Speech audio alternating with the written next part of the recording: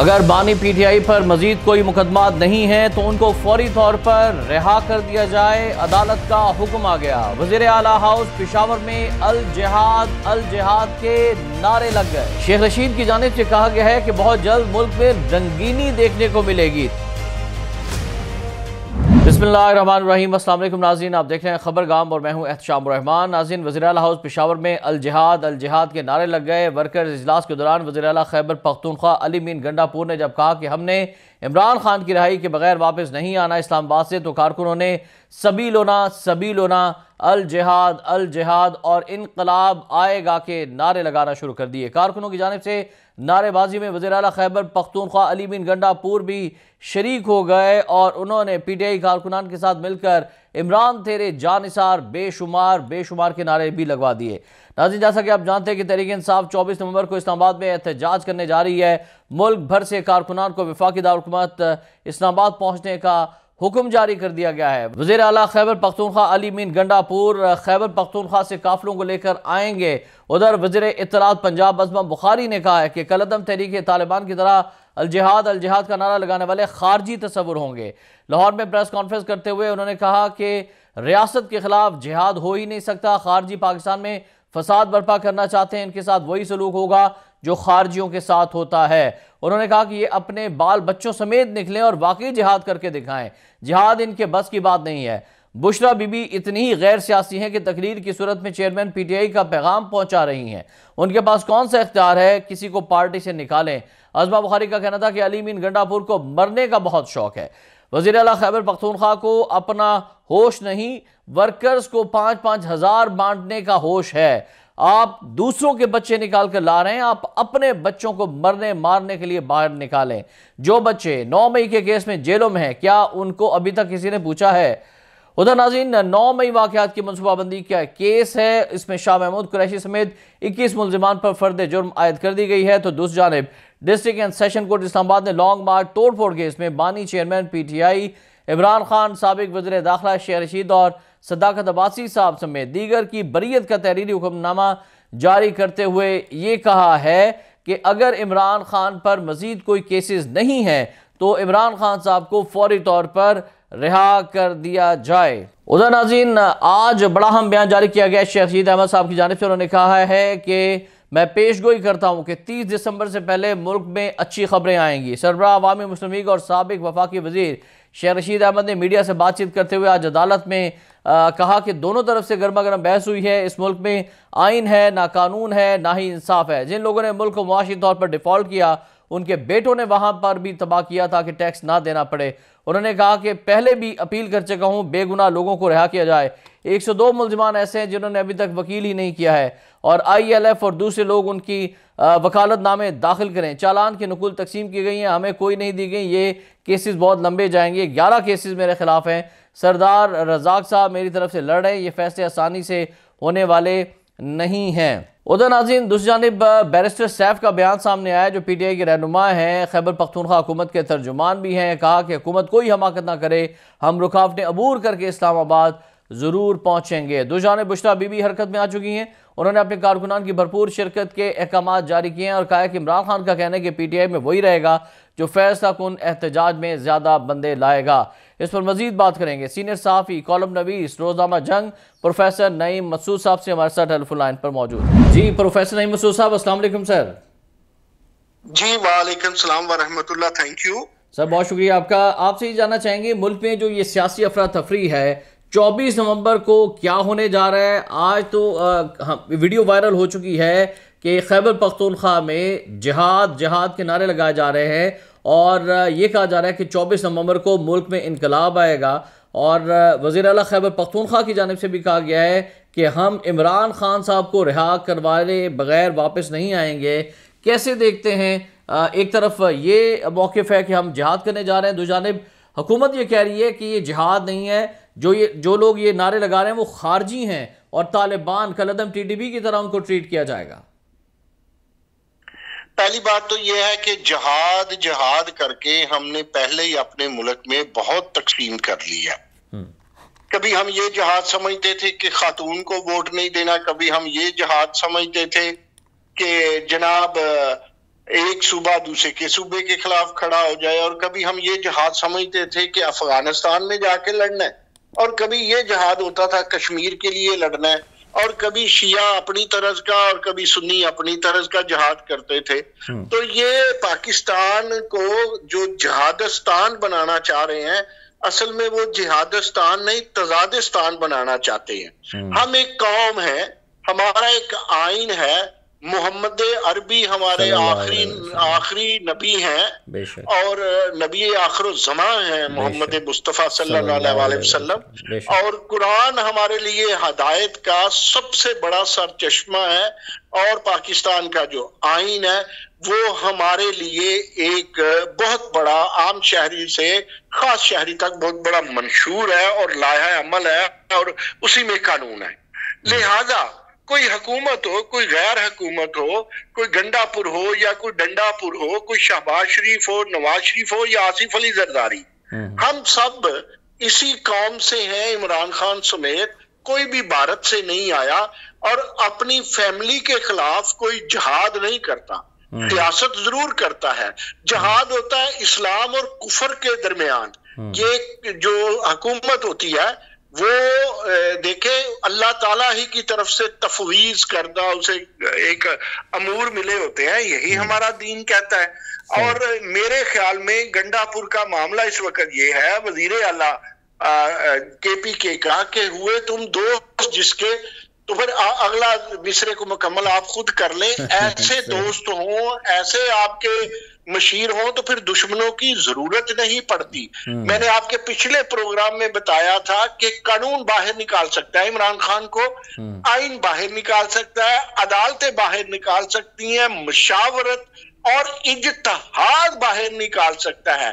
کاش یہ جو الجہاد الجہاد کا نعرہ لگا وہاں اجتہاد اجتہاد اور پولیٹیکل اجتہاد کی بات ہوتی میز پہ بیٹھنے کی بات ہوتی۔ تو کوئی انقلاب نہیں آ رہا میرے بھائی چوبیس کو چوبیس نومبر کو کوئی انقلاب نہیں آ رہا۔ سیاسی مزاحمت کی یا سیاسی احتجاج کی اجازت ہے آئین بھی دیتا ہے حکومت کو بھی نہیں روکنا چاہیے۔ ہاں جو یہ کہے کہ ہم جہاد کر رہے ہیں سٹیٹ کے خلاف تو اس کا علاج پھر اسی طرح ہی ہونا چاہیے جس طرح خارجیوں کا ہوتا ہے۔ اور یہ آخری حربہ ہے۔ یہ آخری فہم و فراست اور آخری عمل ہونا چاہیے حکومت کی طرف سے۔ کیونکہ جی۔ آپ نے دیکھ لیا کہ نائنتھ مئی کا جو بڑی دل خراش قسم کی کلپس اور ویڈیو سامنے آ گئی۔ میرا خیال ہے تحریک انصاف کو اس سے سیکھنا چاہیے تھا۔ بالکل، اور آج sir district and session court Islamabad نے عمران خان صاحب کو مختلف کیسز میں بری کیا ہے، اور ساتھ ہی یہ حکم بھی انہوں نے جاری کیا ہے جیسا صاحب نے کہ اگر کوئی مزید کیسز خان صاحب پر نہیں ہیں تو انہیں فوری طور پر رہا کر دیا جائے۔ لیکن دوسری جانب، نو مئی کا آپ نے ذکر کیا، شاہ محمود قریشی صاحب بہت بری طرح پھنس گئے ہیں۔ نو مئی پلاننگ کے مقدمات میں فرد جرمن پر عائد کر دی گئی ہے۔ کیا کہیں گے، کتنے کیسز اب عمران خان صاحب پر ہیں؟ ہر عدالت انہیں بری کرتی چلی جا رہی ہے، تو پھر وہ رہا کیوں نہیں ہو رہے؟ دیکھیں عمران خان پر کم و بیش آج میں ایک رپورٹ پڑھ رہا تھا پچاس سے زائد کیسز درج ہیں۔ وہ جھوٹے ہیں یا سچے ہیں؟ وہ ایک پروسیس کے بعد ہی باہر نکلیں گے۔ ظاہر ہے اس کے پیچھے اگر مدعی زندہ ہوا تو پھر ملزم کے لیے پریشانی ہوتی ہے اور جب تک سزا نہ ہو کوئی سزا یافتہ نہ ہو ہم اسے ملزم ہی گردانتے ہیں مجرم قرار نہیں دیتے ہیں۔ جہاں تک آپ میری سینس آف پولیٹیکل اسیسمنٹ کا جی۔ پوچھتے ہیں تو میں یہ عرض کروں عمران خان کے جو القادر والا کیس ہے اور عمران خان صاحب کے حوالے سے جو دیگر کیس ہے چاہے وہ توشہ خانہ کے ہوں چاہے وہ اور ہوں دیکھیں زمانت تو تین سو دو میں بھی ہو جاتی ہے۔ قتل کے کیس میں زمانت ہونا کیس ختم ہونا نہیں ہوتا۔ اس میں تو آپ کو عدالتوں میں حاضریاں بھی لگانی پڑتی ہیں عدالت کے رحم و کرم پہ آپ ہوتے ہیں اور یہ کیس ختم نہیں ہوتا۔ یا تو آپ ہر کیس سے بری ہو جائیں۔ مجھے جو میں جو اپنی فہم و فراست کی جو میری سطحی سی ہے یا جو میرا گیس ہے وہ یہ میرا انیلسس کہتا ہے کہ عمران خان ایک دو بڑے قابل ذکر کیسز میں جن کا میں نے تذکرہ بھی کیا جی۔ ان میں ان کو سزا ہونے والی ہے۔ اور اچھا۔ انہیں یہ معلوم ہو گیا ہے یہ بڑا میری بات پہ ذرا غور کیجیے گا۔ جی جی۔ انہیں یہ معلوم ہو گیا ہے کہ یہ جو آخری دس دن ہے یا ہفتہ ہے نومبر کا ان میں فیصلے آنے والے ہیں۔ اس ضمانت کے فیصلے پہ بغلے بجانے والے قبل از وقت عید منانے کے چکر میں ہیں اور یہ ہمیشہ پی ٹی آئی نے کیا۔ پتہ نہیں کون انہیں یہ کہتا ہے۔ میں یہ سمجھتا ہوں کہ ان کے خلاف میجر اور بڑے عجیب و غریب ڈسیجن آنے والے ہیں۔ وہ القادر میں آئے یونیورسٹی میں آئے ایک سو نوے ملین وہ کیا ہے؟ اس میں آئے ہو سکتا ہے میرا فنگر ذرا آگے پیچھے ہو گیا ہو۔ تو اس میں ان کے خلاف کیس آنے والا ہے یہ جو طوفان اٹھایا جا رہا ہے نا this is the reason behind it اچھا سر تو پھر ٹرمپ کا برطانیہ کے وزیر خارجہ کا بیان امریکی کانگریس اراکین کا ٹرمپ کو خط اس سے پہلے جو بائیڈن کو خط کیا حالات رخ اختیار کر سکتے ہیں؟ اس والے سے بتائے گا کہ انٹرنیشنل پریشر جو ہے، وہ حکومت اور اسٹیبلشمنٹ کو کیا متاثر کر سکتا ہے؟ اور ایسے میں خواجہ آصف صاحب کا بیان بھی سامنے آ گیا ہے۔ دیکھیں، میں ایک عرض کروں۔ میری کئی دفعہ کہیں کوئی ڈپلومیٹس ہوں تو ان سے جب بات ہوتی ہے یا ہمارے دوستوں کی بات ہوتی ہے تو وہ کہتے ہیں، برٹش ہمیشہ کہتے ہیں کہ قیدی کو باہر نکالو، آپ کو پتا نا، برٹش قانون بھی ہے، سیاسی پناہ کا۔ جی، تو جی۔ ان سے جب بات ہوتی ہے تو وہ کہتے ہیں کیا ہم بٹو کے لیے نہیں کہتے تھے؟ کیا ہم میاں محمد نواز شریف کے لیے نہیں کہتے تھے؟ کیا اب ہم عمران خان کے لیے بھی کہتے ہیں؟ اب آئے وہ جو کانگریس کے لوگ خط لکھتے ہیں تو کانگریس کے لوگوں نے خط بے نظیری کے لیے بھی لکھے تھے بٹو کے لیے بھی لکھتے تھے۔ آپ آپ ایک ہلکے سے الیکشن لڑتے ہیں۔ اور وہاں پہ کچھ ووٹ فرض کریں فرض کریں افغانیوں کے بن چکے ہوئے ہیں۔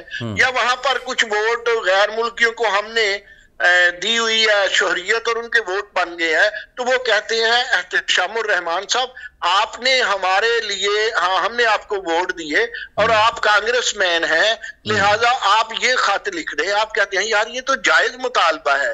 یہ تو چھوٹا سا مطالبہ ہے اور میرے یہ ووٹر ہیں آپ خط لکھ دیتے ہیں۔ تو جو پانچ چھ پہلے بھی بات ہوئی آپ کے پروگرام میں جی۔ پانچ چھ ریاستوں میں کافی پاکستانی ہے وہاں سے خط لکھے جاتے رہے ہیں ماضی میں بھی۔ کے لیے بے نظیر کے لیے میاں محمد نواز شریف کے لیے۔ جی۔ یہ عمران خان کے لیے اگر لکھے جا رہے ہیں تو یہ کوئی بہت بڑی بات نہیں ہے۔ ہم ہسٹری نہیں پڑھتے ہیں۔ ہمارا پروفیسر ہمارا تجزیہ کار ہمارا صحافی ہمارا اینکر بھی نہیں پڑھتا۔ اس لیے تو وہ بڑی بے دردی سے باتوں کو ٹلٹ دیتا ہے۔ دیکھیں ہم صحافیوں کی ہم تجزیہ کاروں کی بھی اپنی ایک پسند ناپسند ہوتی ہے رہنی چاہیے۔ جی، جی، لیکن جب بات کریں تو سچ سچ بولے سچ بولے۔ بالکل آخری میں بات کروں پھر آپ کا سوال لیتا ہوں۔ جی۔ میں پھر آپ کا سوال لیتا ہوں آخری بات کر لوں۔ ٹرمپ صاحب کو دیکھیں یہ بھی سچ ہے کہ جو خلیل ہیں وہ کیا خلیل ظلم کیا نام ہے؟ ظلم خلیل۔ ظلم خلیل وہ ہاں جی ظلم خلیل داد ضرور بات کریں گے کیونکہ بہت بڑا ریلیف دیا تھا بڑی بات کرنے لگا بہت بڑا ریلیف دیا تھا۔ امریکیوں کو جناب عمران خان نے ورنہ شاید امریکیوں کو وہ چھوڑتے نہ یا امریکہ کے لیے وہاں سے انخلاب مشکل ہو جاتا۔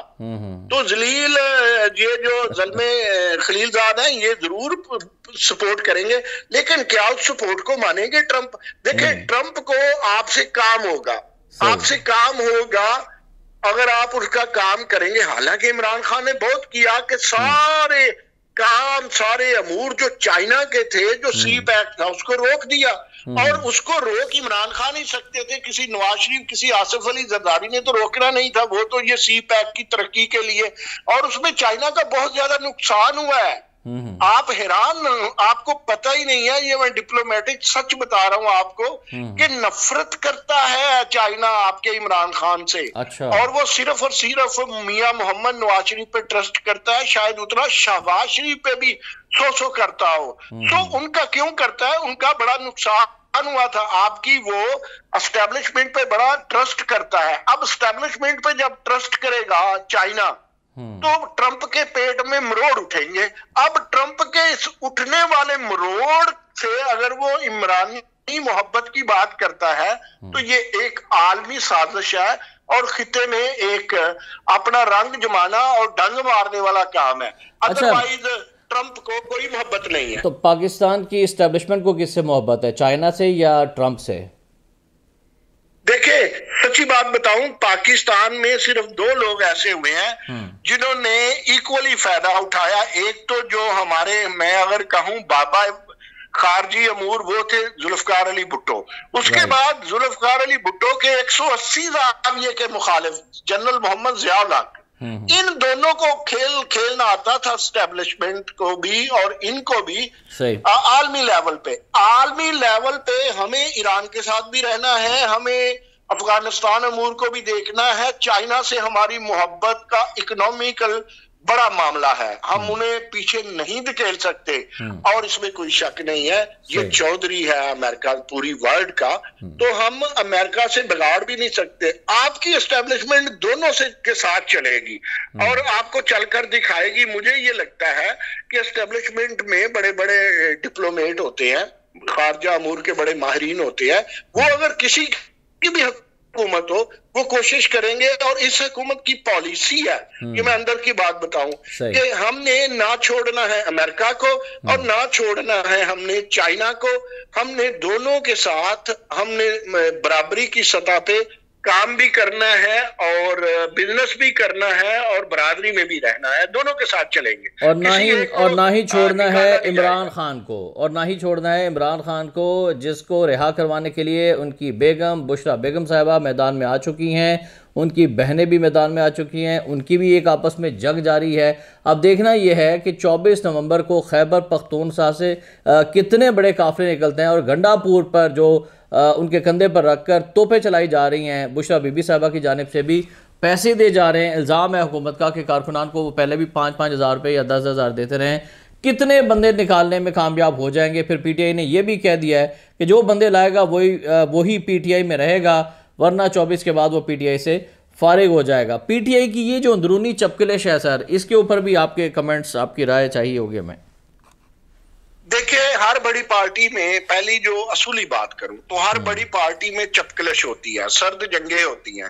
وہ ایون پیپلز پارٹی ہو یا مجھے اچھی طرح یاد ہے نون لیگ میں مشاہد اللہ بڑے مذاق کیا کرتے تھے احسن اقبال کو کہ اگر کوئی اگر کوئی مسلم لیگ نواز میں خاکروب کی پوزیشن ہو اور خاکروب سیکٹری ہو تو اس کے لیے بھی امیدوار ہوں گے احسن اقبال۔ اچھا۔ اسی طرح آپ دیکھیں کہ پیپلز پارٹی میں بھی دو دڑے ہوا کرتے تھے بھٹو کے دور میں بھی مخدوم طالب المولا کا دڑا الگ تھا اور بابا سوشلزم شیخ رشید کا دڑا الگ تھا۔ اسی طرح اس میں ہے۔ لیکن ایک بات یاد رکھے جی۔ اب آئے عصر حاضر میں۔ دیکھیں گنڈا پور اگر اب اس طرح دوست داندلی کا استعمال کریں گے تو اس کا مطلب ہے وہ اپنے صوبے کو الگ کھڑا کرنا چاہتے ہیں۔ کیا ان کے انہوں نے اپنے صوبے کو پچھلے سی ایم محمود خان نے یا سی ایم پرویز کھٹک نے اس قدر قابل تعریف بنایا ہے کہ وہ کہیں ہم مثالی ہیں۔